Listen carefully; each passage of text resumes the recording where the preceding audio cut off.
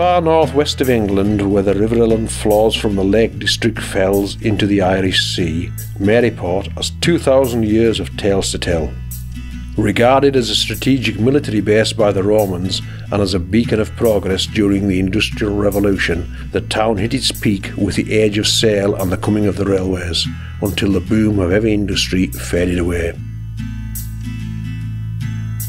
All the while, the natural beauty of the area has provided a haven for wildlife and inspired close knit communities of artisans and entrepreneurs.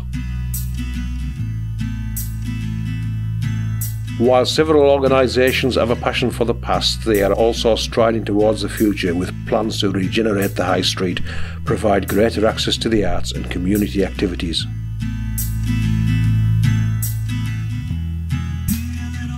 My name is Alan Roper and I do a variety of, of artistic act activities, uh, graphic design, uh, wall murals, uh, teaching art for the council and the settlement. This mural commissioned by the House Pilot Project will kickstart other projects in the town.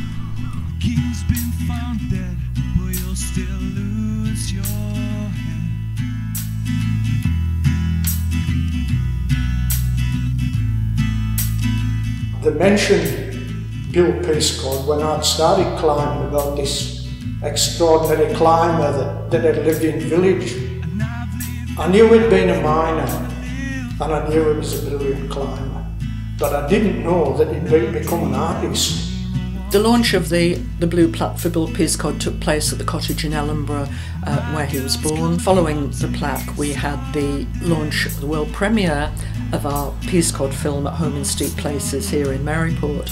And that's subsequently, the film's gone online and we're delighted it's been nominated for a number of awards around the world.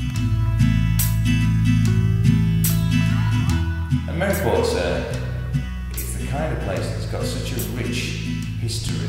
It's got it's got a rich kind of but challenging history. It's been it's, it's been found it tough, you know, since since very early on in the Industrial Revolution, and that brings a wealth of opportunities and storytelling opportunities. I think. Kicking that kid's Eddie said with all your friends.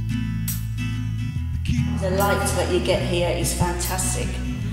You've got the sunsets and the reflections on the sea and the, the old lampposts.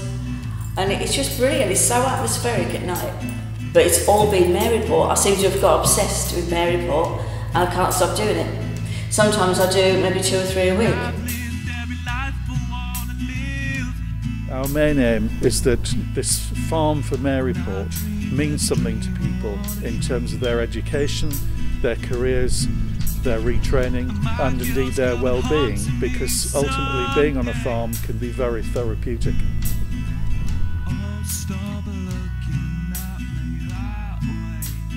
I wanted to uh, contribute and and I said well you know maybe I could run some workshops. So really I just pass on what I've learned things that have interested me in in art. And uh, and so far they've been, they've been quite popular.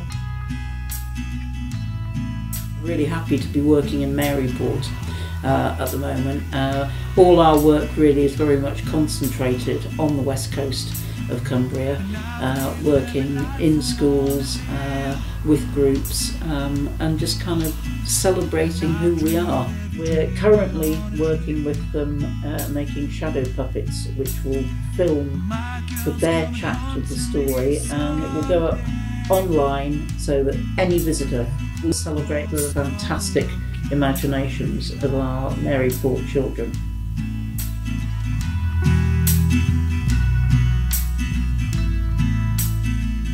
Alison Ogilvie and Hazel Cameron asked me if I could do this mural as they both lost their sons. They organised it all, got everybody together, and it was just to raise awareness for suicide prevention.